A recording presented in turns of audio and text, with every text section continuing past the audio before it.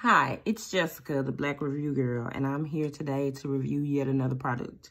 The product that I'm reviewing today is Simple Truth Organic Kombucha. Uh, I did two flavors so that I could give you guys a comparison.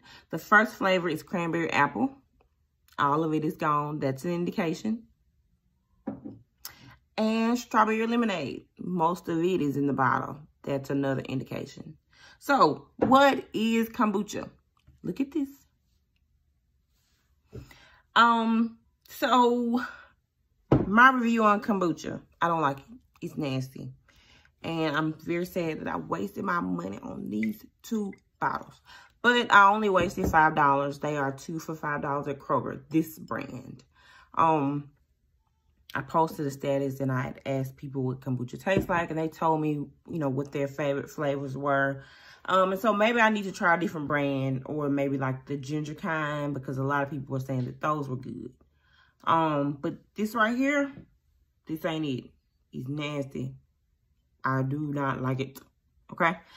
So I wanted to start drinking kombucha because I was looking for an alter a healthier alternative to diet sodas.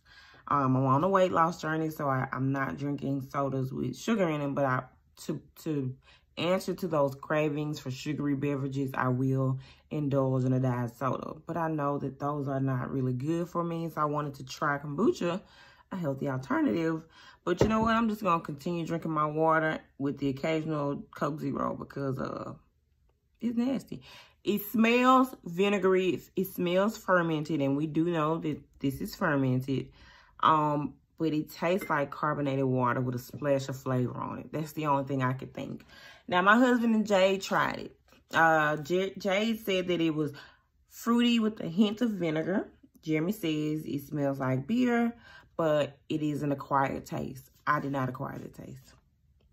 Um, and Jay says, Jay says, um, it doesn't taste good, but she drank the whole bottle pretty much. And she described it as weird, but yummy now.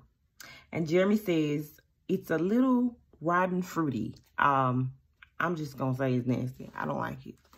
And um, it's not for me.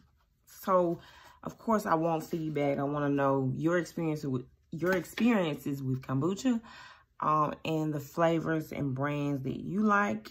And, uh, you know, maybe somebody will be nice enough to send me some. Y'all send me some, some kombucha and say, hey, this is a really good brand and flavor. And if it's good, I'll do another review and say, hey, I was wrong. I found a kombucha that I like.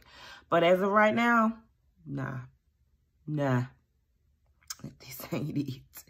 Uh, so please uh, like this video, share this video, and follow me at The Black Review Girl on Instagram. Thank you. I love you guys so much. Bye.